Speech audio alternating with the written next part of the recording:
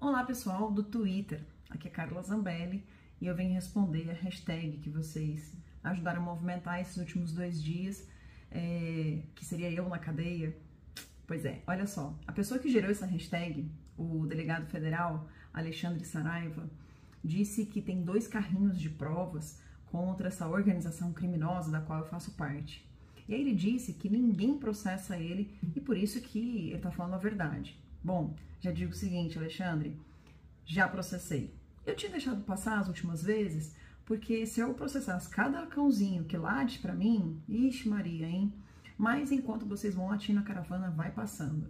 Como esse assunto criou uma repercussão muito grande, você é pré-candidato a deputado federal e usou meu nome para poder ganhar repercussão nacional, então estou entrando com vários processos contra você. Um, na Corregedoria da Polícia Federal por prevaricação. Porque se você tem provas, hum, você devia apresentar, né? Você, como delegado federal, deveria ter me representado, deveria ter me denunciado. Se não fez, prevaricou.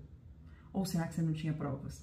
Aí, nesse caso, você vai ter que provar o que você diz, porque o ônus da acusação é sua, o ônus da prova é seu. Então você vai ter que provar o que tem contra mim.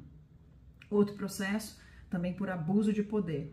Outro processo, danos morais materiais e outro processo no MP eleitoral, porque você é candidato e segundo a nova lei, que é de autoria inclusive do Kim Kataguiri, esse tipo de atitude que você teve hum, é crime e dá cadeia. Mas vamos por partes.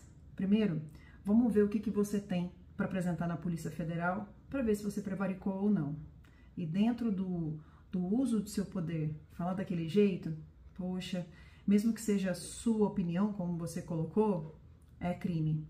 E também estamos processando a Globo News, que deu espaço para você e que seus jornalistas concordaram prontamente com aquelas informações que você estava dando, mentirosas. Tá bom? Nos vemos na justiça. Um forte abraço.